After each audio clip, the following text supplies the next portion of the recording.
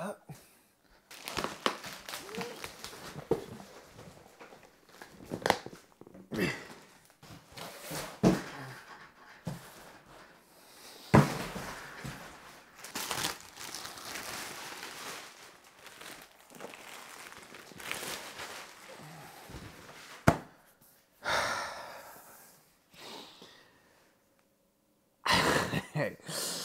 euh, vous pouvez peut-être voir que je suis plutôt content. Et même très content. Déjà, un grand merci à Geekbuing pour m'avoir envoyé cet écran. Petit instant promo pour le site Geekbuing, qui est tout simplement le site qui me fournit euh, pas mal de produits pour vous faire des tests sur ma chaîne, notamment les écrans et les euh, consoles Ambernic. Encore merci à eux. Pendant le Black Friday et même avant, ils vous permettent simplement d'avoir de belles promos sur plusieurs produits. Alors j'espère que la vidéo sortira avant pour euh, le pré-Black Friday, mais vous aurez quelques offres intéressantes. Et euh, pendant le euh, Black Friday, évidemment que vous aurez également des offres intéressantes. Vous aurez un lien dans la description qui va tout vous expliquer. Mais en gros, vous aurez plusieurs codes de réduction pour euh, certains montants. Donc euh, plus le montant est élevé, plus le code de réduction est élevé. Et euh, ça vous permettra, lorsque vous passez en caisse, de gagner encore d'autres bons de réduction pour des achats futurs. Donc je vous laisserai regarder ça encore une fois via le lien que je vous fournirai en description. N'hésitez pas à aller jeter un petit coup d'œil si jamais cela vous intéresse. Pareil, si jamais je vous présente des produits qui viennent du site qui vous intéressent, n'hésitez pas à passer par le lien qui sera en description à chaque fois. Comme ça, moi je gagne une petite commission. Vous, vous ne payez pas plus cher. Au contraire, vous avez accès en plus à des codes de réduction en général qui vous font euh, acheter le produit encore moins cher. Donc voilà, c'est intéressant pour vous, c'est intéressant pour moi parce que ça me permettra simplement d'acheter d'autres produits également sur le site et pouvoir vous en faire une vidéo sur ma chaîne YouTube. Donc voilà, on est tous gagnants-gagnants. Je vous souhaite une très bonne vidéo. Et pourquoi je dis un grand merci? Parce que c'est un écran qui vaut euh, plusieurs centaines d'euros. euh, on n'est pas loin du millier. Pourquoi me direz-vous? Eh bien, ici, nous avons un écran KTC, un G27 P6. Est-ce que c'est ça le nom? G27 P6, c'est ça. Et quelles sont les caractéristiques de cet écran? On est sur un écran OLED, le premier écran OLED que je vais tester sur la chaîne. Donc, il fallait que je fasse une vidéo complète de déballage et de présentation euh, de ce produit avant de faire un avis complet sur celui-ci parce que vu que c'est la première fois, il faut vraiment que je prenne mon temps pour vous donner un avis complet sur celui-ci. Donc OLED 2K 240 Hz, pareil, c'est la première fois que j'ai un taux de rafraîchissement aussi haut. Avec un temps de réponse de 0,03 millisecondes, on est sur un contraste de, je je sais plus le chiffre, mais c'est immense, je crois que c'est 1 500 000 pour 1 ou 150 000 pour 1. Bref, c'est énorme. Évidemment, c'est de l'OLED, donc euh, contraste quasi infini. On est sur un écran également 10 bits, compatible FreeSync euh, et pas G-Sync, je crois. euh, compatible G-Sync peut-être, je suis pas sûr. Est-ce qu'on a des caractéristiques? Oh, euh, oh, bah attendez, c'est plus joli de ce côté-là. Il a une taille de 27 pouces et je crois que j'ai à peu près tout dit sur les caractéristiques. Ah oui, il est compatible HDR. Alors HDR 10 seulement, comparé à de l'HDR 1000 pour les écrans mini LED que j'ai derrière. Mais bon, il est HDR quand même. Et je vais regarder euh, sur le papier le reste des caractéristiques parce que je n'ai pas tout. Surtout pour la couverture, je retiens jamais, mais euh, voilà, 136%, il couvre 136% de l'espace colorimétrique, je vais y arriver, sRGB, donc 450 candela par mètre carré au niveau de la luminosité. Il couvre également 100% de l'espace colorimétrique DCI P3, donc si jamais vous êtes monteur ou vous faites de la retouche photo, cet écran peut vous intéresser. Et c'est 1 500 000 pour 1. Voilà, voilà, les contrastes, euh,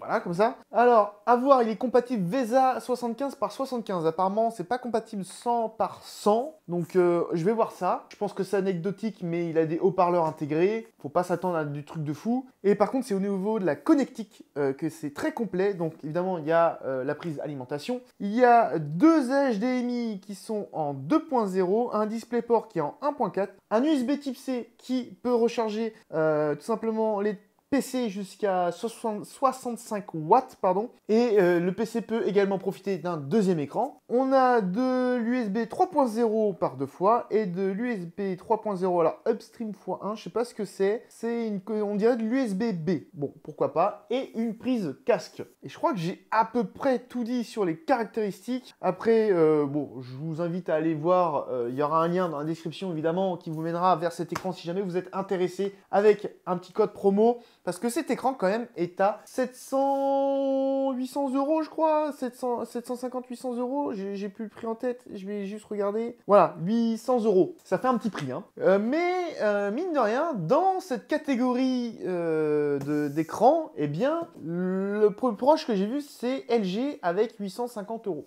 Donc euh, au final, il reste quand même, je pense, l'un des moins chers. Euh, j'ai pas vu moins cher en termes d'écran OLED. Tous les écrans OLED de toute façon que j'ai vu, ça coûte une brique. C'est un truc de fou. Je suis bien contente de l'avoir reçu gratos quand même. Encore grand, grand merci à Geekbling. Allez, ce qu'on va faire, c'est qu'on va le déballer tout simplement parce que je suis curieux de voir si euh, bah, on a un packaging de fou furieux. Je l'espère en tout cas vu le prix. j'ai vu qu'il y avait un plastique où est mon ciseau? Il est là-bas. Bon, après, hein, c'est un déballage, euh, tout ce qui est tout classique. Je vais faire ça, enfin, je vais faire ça rapidement. Et je sais pas, peut-être qu'on dirait qu'on va assister à la casse d'un écran OLED qui vaut quand même 800 euros. Sait-on jamais? Parce que vu comment je suis doué. Ah, voilà. Et on enlève comme ça. Alors, putain, c'est bien emballé. Alors, ce qui est bien, c'est que on a euh, tout simplement une boîte, ça se fout pas de la gueule du monde, c'est très bien emballé, c'est très bien protégé. Donc ça c'est un très bon point. Quand même important quand on achète un écran aussi cher. Ok, avec la dalle qui est juste ici. Oh, une... Alors on a un gros bloc quand même pour euh, les prises et tout, mais la dalle en soi, elle est assez fine. C'est la première fois que j'ai un écran comme ça. Oh là là là là. Alors, ce que je vais faire, c'est que j'ai posé ça là. Oh, c'est tellement fin, j'ai peur de casser un truc. Et juste en dessous, on aura... Alors, je pense que je l'ai déballé du mauvais côté. Voilà. Alors, qu'est-ce qu'on aura? On aura évidemment le pied ici, qui est hyper léger. Alors c'est du métal, mais euh, c'est hyper léger. J'étais surpris. On a un, autre bout de pied, évidemment, qui est ici, qui est là un petit peu plus lourd, mais ça reste léger. Hein. Bon, après, c'est beau en tout cas, c'est stylé, mais euh, ça fait un peu peur au niveau du poids. Donc ça reste ultra simple au niveau du montage. On va venir clipser, hop, le pied ici, et on a une petite vis à main, donc tout ce qu'il y a de plus classique, on vise bien, voilà. Alors on voit qu'on a un passe-câble ici, bon, euh, un truc en plastique, vite fait, voilà. Je vois que l'écran, on va pouvoir l'ajuster en hauteur, également sur les côtés et euh, dans cet axe-là également, je sais pas comment on dit. Et c'est un système classique où il va falloir venir le clipser. Alors ici, on a comment déballer la boîte, mais c'est con, on l'a déjà déballé, donc ça sert finalement à rien cette étape. Et comment mettre le pied. Alors on peut faire une rotation sur les côtés de plus ou moins 15 degrés. On peut le mettre sur le côté, donc le tourner à 90 degrés. Il est possible de l'ajuster entre moins 5 et 20 degrés au niveau de cet axe-là. Et on peut le monter et le descendre sur une différence de 110 mm. Et ici, on retrouve les papiers pour le calibrage de l'écran. Donc ça, c'est plutôt cool. Je vais pas m'attarder là-dessus. Alors, qu'est-ce qu'on a là-dedans? Oh, on en a des choses. Alors, on a encore du paplard. Alors, ah, pour euh, Product Warranty Card. Peut être intéressant vu le prix de l'écran. Alors là, on a un guide, mais je pense que ça ira. Ici, on a la prise murale. Qui va venir se brancher, évidemment, sur ce bloc chargeur qui est assez gros. Qu'est-ce qu'on a de fourni en câble? Alors, on a des vis de fourni. Je pense que ça, c'est pour le VESA, du moins le support à l'arrière de l'écran. On a euh, oh, on a un câble USB-C de fourni. Ça, c'est plutôt cool. Un câble HDMI également de fourni d'une longueur de 1m5. C'est cool, il y a la longueur de marqué. Pour l'USB-C, c'est marqué ou pas? Non, c'est pas marqué. Ça, c'est dommage. Je pense que ça va être 1m5 également parce que le câble ici, DisplayPort, est à 1m5 également de longueur. Donc, un packaging plutôt bien fourni, même si ça reste du classique. On a un USB-C en plus qui est plutôt cool et des vis pour le VESA. Donc ça, ça aussi, c'est plutôt cool. Et maintenant, il n'y a plus qu'à monter l'écran. Donc ça, j'en ai pas besoin parce que j'ai ce qu'il me faut en câble. Quoique l'USB-C, ça me paraît intéressant, je vais le garder. Les vis, je vais remettre. Je vais garder quand même le bloc chargeur. Je vais devoir enlever celui de l'ancien. On va passer au montage de l'écran qui, vous allez voir, est extrêmement simple. Donc évidemment, on va le déballer. Et évidemment, c'est fermé de partout. Alors, voilà. On va venir mettre le pied qui est juste ici. Où va falloir faire attention sur, les supports VESA parce que c'est pas terrible, terrible du tout. Les pattes vis sont pas du tout au même niveau. Hmm, ouais, va falloir faire gaffe. C'est peut-être des adaptateurs que l'on a euh, sur euh, les vis de fourni. Je vais vous montrer ça rapidement. Vous voyez, hop, juste ici, on a les pattes vis qui sont pas au même niveau. Donc ça, il faudra faire super gaffe sur les euh, bras que vous prenez. Il faut bien que ça soit compatible quand même. Donc là déjà, un petit point négatif euh, qui fâche un petit peu quand même lorsqu'on paye un écran de 800 euros. Mais bon, hop, voilà, on a enclenché ça. Donc, oh, un petit cache pour euh, cacher toutes les prises. Ça, c'est plutôt pas mal. C'est bienvenu, on va dire. C'est pas non plus euh, un truc de fou. Hop, attention à ne pas casser l'écran, évidemment.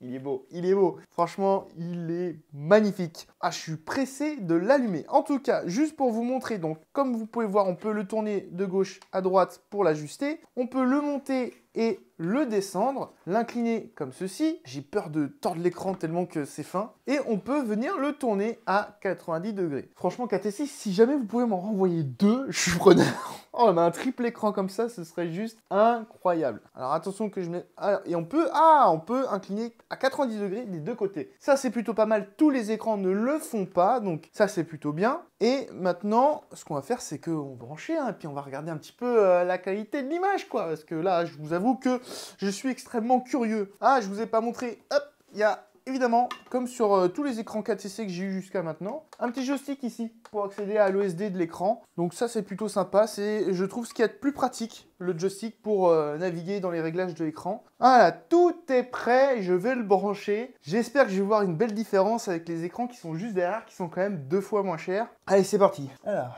il est là-bas, lui. Il est branché. Il est en train d'être détecté. Ouais, il y a un truc, il y a un truc. Faut que je regarde la luminosité. Je sais pas, alors est-ce que la luminosité est à fond ou pas là? Oh, pas du tout. Ah ouais. Ah ouais, s'il y a une différence.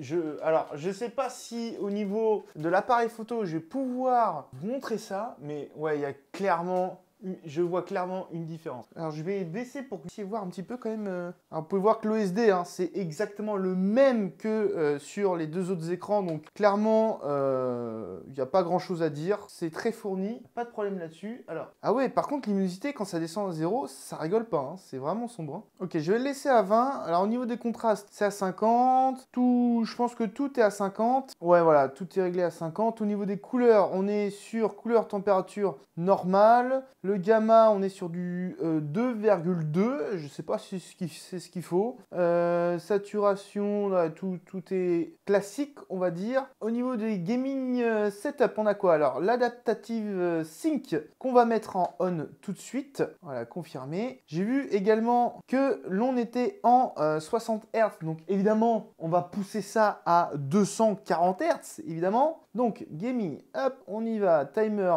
full crosshair. Alors, on peut mettre un petit viseur en plein milieu de l'écran. Donc, euh, si jamais vous avez un FPS où il n'y a pas de viseur, bah voilà, vous pouvez en mettre un. Ah, j'ai... alors KVM peut être sur l'USB 3.0 et également sur l'USB euh, Type C. Ça, c'est plutôt cool. Alors, qu'est-ce qu'on a d'autre? Donc, crosshair, FPS compteur. Donc, on peut mettre un compteur de FPS. Le HDMR. Ah, alors le HDR, on a le mode euh, standard et le mode cinéma. Alors, est-ce que ça change quelque chose? Je ne sais pas trop. Je vais laisser le standard pour l'instant et euh, je verrai à la longue si je vois une différence ou pas, je le testerai. Alors le RGB Green. Ah oui d'accord, il y a le je vais essayer de vous montrer ça. On a le logo derrière qui s'illumine. Voilà. Donc, euh, bon, c'est pas quelque chose de euh, non plus euh, déterminant. Hein. C'est un truc qu'on va pas voir étant donné que c'est à l'arrière de l'écran et que ça va pas illuminer non plus le mur que vous avez derrière. Donc, bon, c'est anecdotique. Mais bon, on peut le régler si jamais ça vous intéresse. Et c'est tout. Alors, au niveau des inputs, donc les deux HDMI, le DisplayPort, le type C et le KVM que l'on peut euh, paramétrer. Donc au niveau du KVM, on peut le faire donc, hop, si on redescend là, sur l'USB 3.0, on peut faire sur le type C en USB 2.0 ou USB 3.0. Donc ça c'est plutôt cool. Alors après, où est-ce qu'on a Système 7, donc le langage, on peut le changer en français, donc ça c'est plutôt... Oh non, j'ai mis en allemand. Ah, voilà, donc je vais le mettre en français pour voir si on n'a pas trop de problèmes de, euh, comment dire, de traduction. Donc euh, configuration de l'OSD que l'on peut changer. Euh, les hotkeys, alors ça oui c'est au niveau du joystick. Donc le joystick, si on appuie dessus, donc on a accès tout simplement à l'OSD principal. Et lorsqu'on va tout simplement le cliquer sur l'un des côtés, on a des raccourcis. Donc à gauche c'est la config gamer avec la possibilité de mettre un minuteur, une cible, un, FP, un compteur de FPS, je vais y arriver. À droite, c'est la configuration du KVM. Si je fais euh, en haut, c'est tout simplement euh, là où je veux mettre mon affichage. Donc si je vais afficher l'HDMI 1, 2, le DisplayPort ou le type C. Et en bas, c'est tout simplement pour régler la luminosité. Dans le système, on aura quoi d'autre? On aura l'audio, euh, mais bon, je pense pas que c'est quelque chose que je vais utiliser. Alors, information sur l'écran, le LED indicator, on peut réinitialiser les réglages et au niveau du réglage avancé. Alors, l'OLED Pixel Refresh, on est sur de l'auto, on peut faire du... Alors, je sais pas ce que c'est, je vais pas pouvoir vous dire. Euh, spécialiste OLED, c'est pas ce que c'est. Est. Je vais pas pouvoir vous dire. Par contre, l'OSD se barre très rapidement. Ça, c'est un petit peu chiant. Euh, on a quoi d'autre? Économiseur d'écran, l'USB Sleep Power et c'est tout. Alors, c'est pas ici qu'on va régler euh, tout simplement le... Alors, si le HDR, on l'a déjà activé, mais au niveau des FPS, netteté, ratio, donc ça doit être sur le PC. Donc, on est bien en 10 bits et voilà, 240 Hz conservé. Donc, on est bien en 240. Alors, est-ce que je vais voir la différence? Ok, ouais, alors, entre le 160 et le 140, enfin là, même pas, je suis en 140, donc 140 contre 240, je vois une légère différence, mais clairement, si j'avais pas les deux écrans côte à côte, je ne pense pas que je la verrais la différence, pour être honnête. Donc, évidemment, c'est un plus Hein, vaut mieux la voir, mais euh, en termes de fluidité, alors après peut-être que je bouge à fond, ok. Ouais, je suis même pas, en fait, je suis même pas sûr de voir la différence. Euh. non, je pense pas que je vois la différence. Donc euh, là, pour le coup, c'est pas quelque chose à laquelle je, je, suis moi affecté. Donc si jamais vous êtes un gros gros joueur, vous avez besoin de beaucoup de FPS et que vous voyez la différence, ça peut jouer en votre faveur. Par contre, si vous êtes comme moi, un joueur casu qui s'en fout complètement, à qui bah en fait jouer même à 30 FPS ça vous dérange pas, pas sûr que vous voyez du coup la différence. Ce que je vais faire, c'est que je vais lancer une vidéo en 4K HDR, évidemment, pour voir un peu la qualité de cet écran, et après on se lance un Elden Ring. Et là, je peux vous dire, je suis pressé de voir ça. Alors, une petite vidéo 4K HDR. je vais essayer de vous mettre côte à côte l'écran mini LED que j'ai là, avec l'écran OLED. Merde, évidemment, j'ai fait la connerie.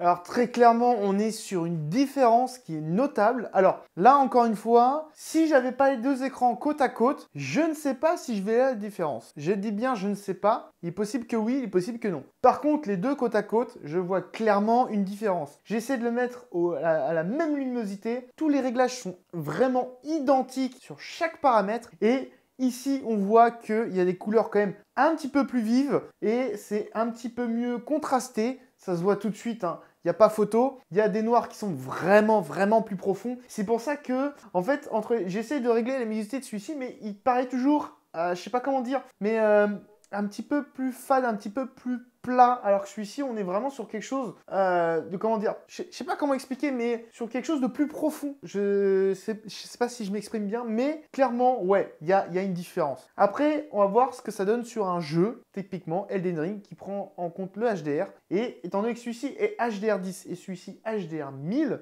à voir si on voit quelque chose ou pas? La manette, parce qu'évidemment, Elden Ring, ça se joue avec une manette. rien que là, déjà, je vois que ici, c'est beaucoup plus noir que, là. Sur une même luminosité, voir celle-ci, euh, elle est un peu moins lumineuse, je l'ai mis un peu moins lumineuse. Pour essayer d'avoir un semblant, en fait, je pense que c'est les noirs qui me perturbent. Par contre, le blanc, c'est pas du tout le même, et je trouve que c'est un blanc meilleur à droite, sur l'écran de droite en minette. Je sais pas trop. Je vais essayer d'éteindre la lumière, voir. Je crois que mon PC kiffe pas d'afficher deux, deux fois Elden Ring en 2K. Et on va relancer. En fait, peut-être que le blanc n'est pas le même entre les deux parce que la luminosité, c'est peut-être pas totalement la même. Faudrait que je pousse les tests. Clairement, on est sur quelque chose de plus joli sur l'écran OLED. Hein. Prends pas le HDR là. Ah, ça y est. Oh, kiffe pas. Je vais pas pouvoir comparer le HDR là. Ah non, ça n'a rien à voir, ça pète les yeux. Ouais, non, à gauche, il prend pas le HDR. Du coup, il m'a complètement changé la luminosité à droite. Ah, je peux plus gérer la luminosité à droite. Oh, il a activé le HDR. Je peux pas gérer la luminosité là. Ah, alors, au niveau des couleurs, j'ai une préférence pour celui de gauche, clairement. Par contre, au niveau de la luminosité, on est sur quelque chose de moins lumineux hein, que euh, l'écran mini LED. Mais il euh, n'y a pas à dire. Ok.